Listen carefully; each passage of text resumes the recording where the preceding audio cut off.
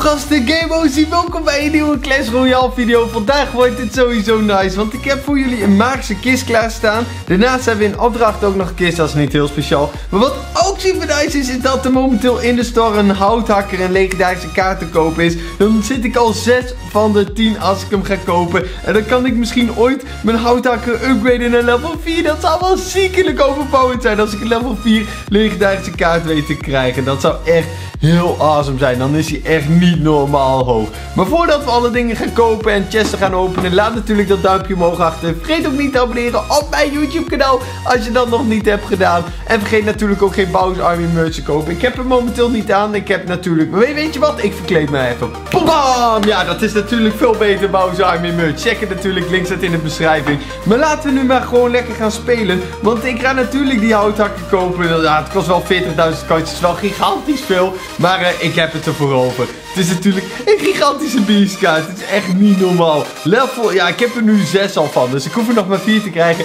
En ik kan hem upgraden. Dat gaat misschien, misschien deze maand nog wel gebeuren. Ik zou misschien, ja, gelukskisten, daar zit hij nu ook in. Uh, tovenaar gebruik ik ook. Maar ja, het enige probleem is dat je dan ook heel veel kaarten krijgt die je totaal niet gebruikt. En dat is wel fucked up. En ze zijn uiteindelijk, zijn die gelukskisten nog best wel duur.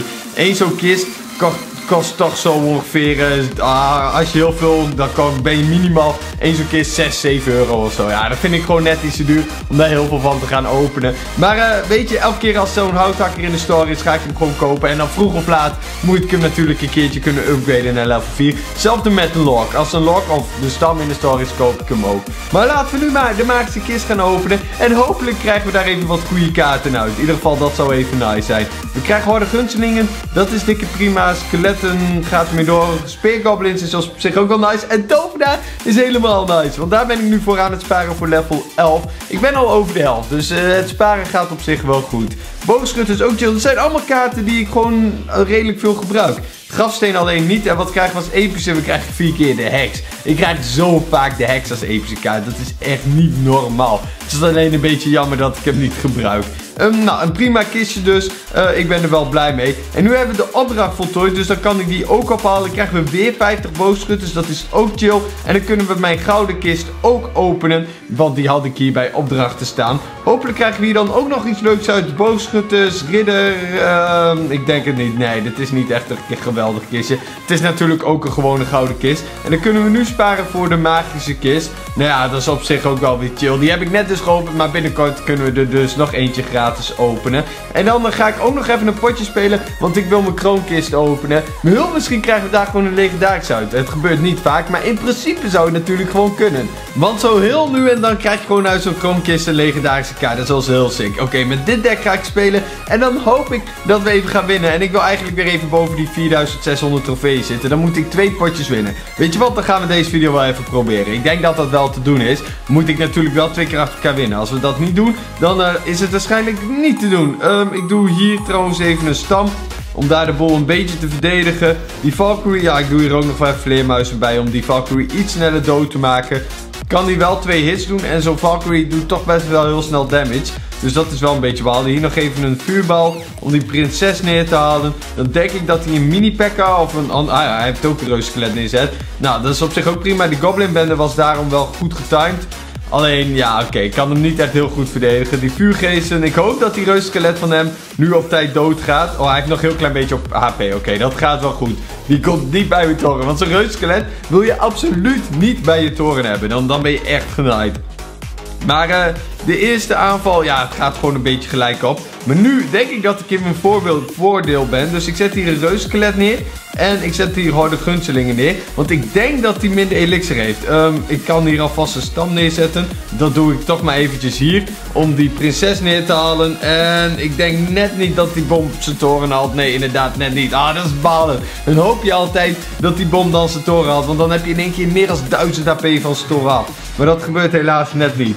Ik denk dat dit wel een lastig potje gaat worden. Want hij heeft een beetje vergelijkbaar soort deck. En als je tegen deck speelt die ongeveer hetzelfde zijn als je eigen deck. Dan is het moeilijk verdedigen, maar ook heel moeilijk aanvallen. Ehm, ik doe hier even een tovenaar. Doe hier ook even een houthakker om die reus in ieder geval af te leiden. Ja, dan haalt hij mijn toren niet. Maar dan gaat mijn uh, tovenaar helaas wel dood. Maar ja, dat is dan niet anders. Heb ik zijn aanval in ieder geval makkelijk verdedigd. En daar gaat het ook om.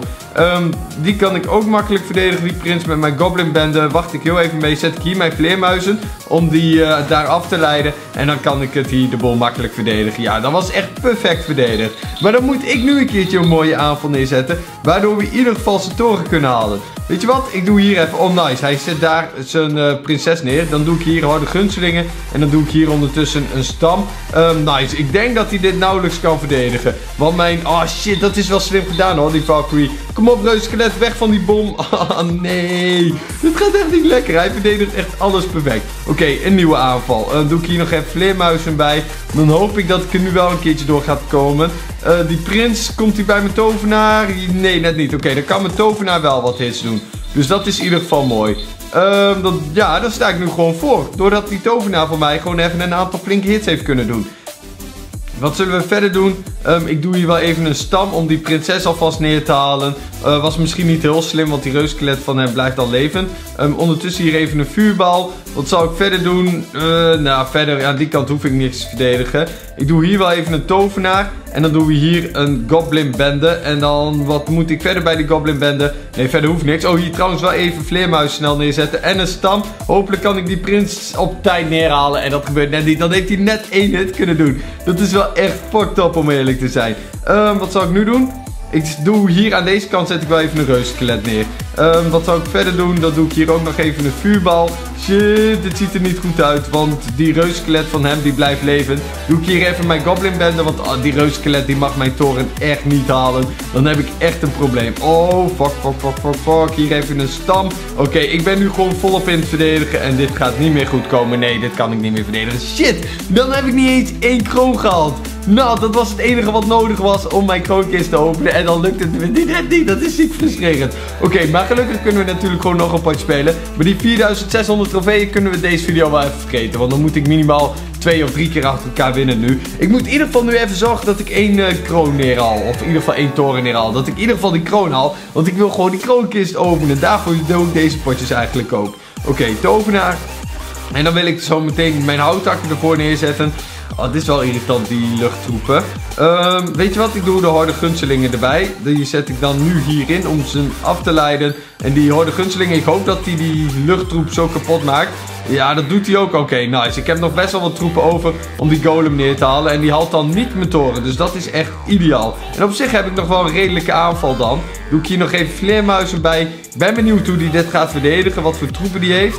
Ah, het is wel balen. Hij heeft wel wat damage kunnen voorkomen door mijn tovenaar op de tijd neer te halen. Maar alsnog sta ik voor. Dus dat is hartstikke mooi. En hij is een level hoger. Dus dat is op zich wel baas. Ik vind het altijd zo mooi. Als je tegen lui van level 13. Die bijna alle troepen maximaal level hebt, hebben. Dat je dan gewoon alsnog weet te winnen. Dat is, ja, dat is gewoon echt baas. Um, ik ga hier achter mijn reuzenskelet zet ik zo een tovenaar neer.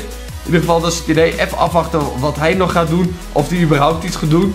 Um, of zou ik het... Nou, weet je wat? Ik probeer het wel. En dan hoop ik dat die tovenaar van mij net buiten bereik is van zijn bel. Dat is die mij. Zet daar tornado in. Oh, shit. En dan gaat mijn tovenaar alsnog dood. Normaal. Hier even Goblin Band aan die kant.